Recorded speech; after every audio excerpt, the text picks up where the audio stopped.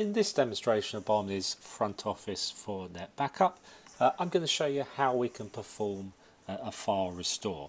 You can see we're logged into uh, the front office self-service portal as a particular client called Browns uh, and what we can do is we can go down the option of backup and restore in order to invoke uh, the, uh, the, the, service to go and restore that file.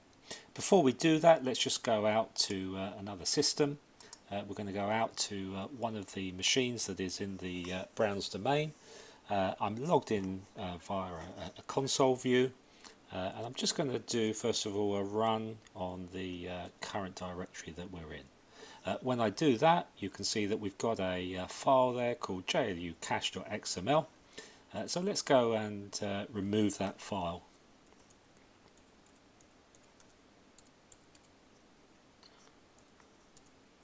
Okay, so I just type the remove command, it'll come up and uh, just ask for confirmation of that.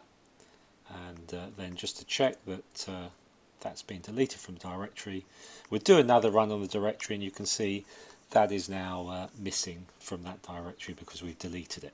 Okay so let's go back into our self-service portal now. Let's go into uh, backup and restore. And uh, this time what we're going to do is we're going to go and select from the uh, service to restore a file or a folder. Okay, so when I'm in here, all I need to do is to come in and select the options uh, that I need to uh, identify the particular file that we're after. So first of all, I'm going to select my location. We've got a default on the uh, backup date. Uh, I then need to go and select uh, the VM that we want to restore this file from. and what we're seeing now is just a view on the uh, Browns infrastructure. So we're using a Biomni adapter to go out and pull in uh, all the machines that, uh, that are available. Uh, what I can do is just sort of click down here. We can see uh, what machines are under uh, which section. And the machine I'm after is actually under here. so we just wait for that and then I can select it. So there's the machine that I know my files are on.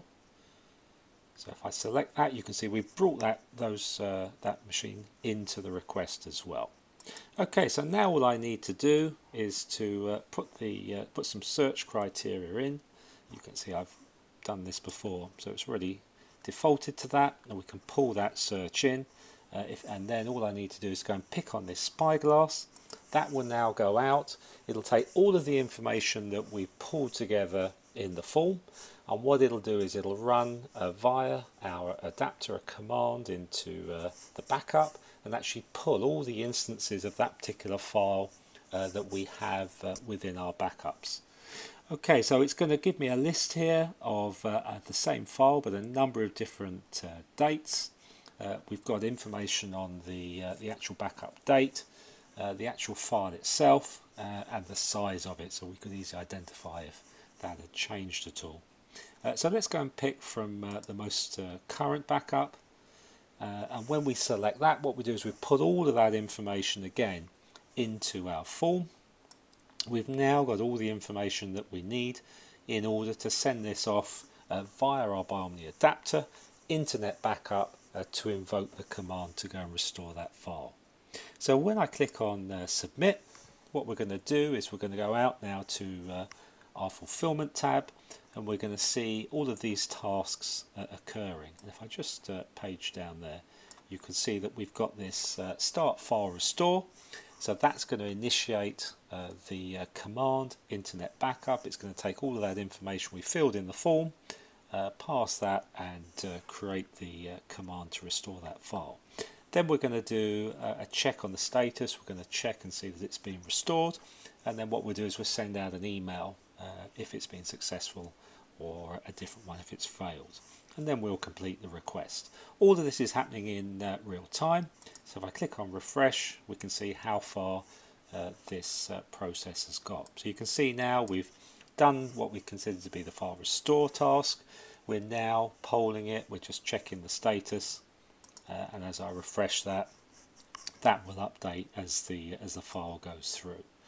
Uh, now what we can do now is just go out and check to see uh, whether that file is actually being restored. So if I go back into my console view now, uh, and if I run the uh, command to uh, list the directory uh, then indeed we can see that that file has now been restored within the directory and so that, that request is now being completed.